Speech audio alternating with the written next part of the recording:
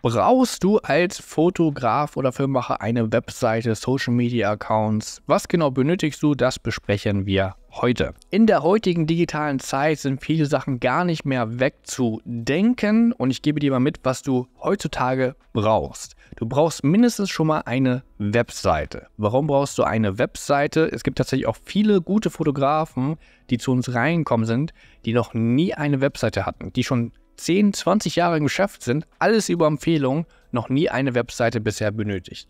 Aber durch diesen Wandel der Zeit heutzutage, dass die meisten auch nicht mehr so viel über Empfehlungen dann natürlich machen. Natürlich werden auch immer weiterhin Empfehlungen geben, aber viele heutzutage gehen einfach online, suchen sich eine Person aus, einen guten Fotografen oder Filmemacher, was sie brauchen, buchen den und viele Leute sind gar nicht mehr so auf Empfehlungen angewiesen. Aber nicht nur das, zudem zeugt es von Professionalität, wenn du dementsprechend auch eine ordentliche und tolle Webseite hast. Weil wenn du Businesskunden hast, ja, sei es Businessporträts, sei es Imagefilme und und und, egal was du machst, die Leute wollen zum einen natürlich eventuell Portfolio sehen, was du dort draufpacken kannst, aber natürlich zeigt es, dass dein Unternehmen ernst nimmst. Jeder, der heutzutage ein gutes Geschäft hat, hat eine Website, hat eine ordentliche Webseite.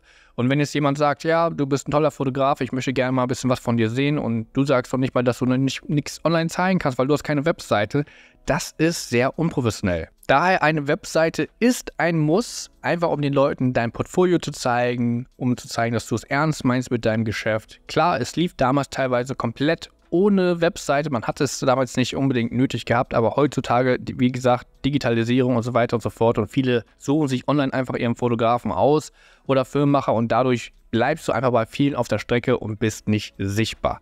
Webseite ein wirklich Must-Have heutzutage. Dann kommen wir zu den ganzen Social-Media-Sachen. Facebook, Instagram, LinkedIn, Xing, äh, TikTok, äh, jetzt die äh, relativ neue Plattform Threads und, und, und. Also es gibt ja so viele äh, verschiedene Sachen, wo soll man sich jetzt anmelden?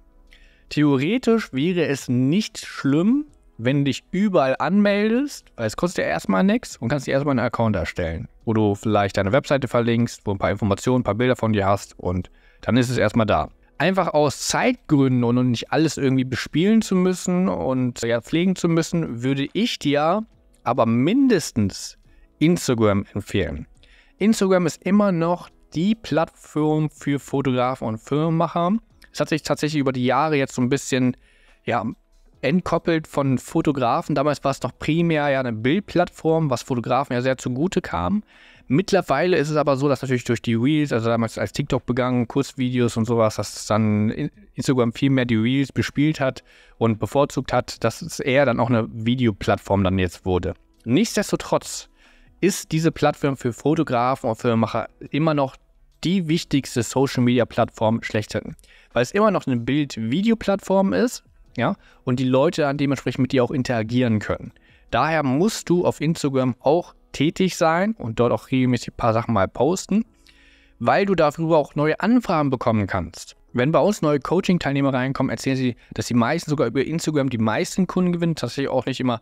Es wird jetzt nicht die Masse sein. Ich erkläre dir gleich auch nochmal, warum das die organische Reichweite und so immer nicht so das Nonplusultra ist, sondern was für bessere Methoden es gibt.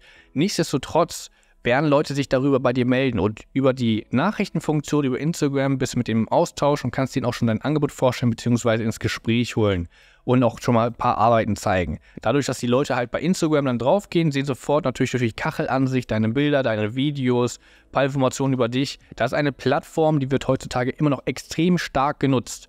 Nicht so wie die anderen Plattformen. Wie gesagt, vielleicht Facebook würde ich mich auch nochmal anmelden, vielleicht ein paar Gruppen nochmal da auch reingehen. Das würde auch nochmal Sinn machen.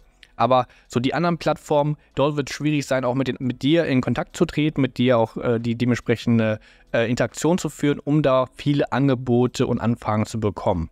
Heißt jetzt nicht, dass es gar keinen Sinn macht. Also wenn du dich anmelden möchtest, einfach, wie gesagt, kostet ja bei den Plattformen nichts und ein paar Sachen posten willst, tut ja nichts so schade. Aber die wichtigsten Plattformen werden zum einen natürlich die Webseite und dann einmal Instagram. Bei Instagram würde ich dann auch dementsprechend empfehlen, mindestens einmal im Monat etwas zu posten. Besser noch zwei, dreimal oder mehrfach natürlich, aber mindestens einmal. Warum? Wenn die Leute auf dich stoßen, gucken sich natürlich die, die äh, letzten Bilder auch alle an, meistens.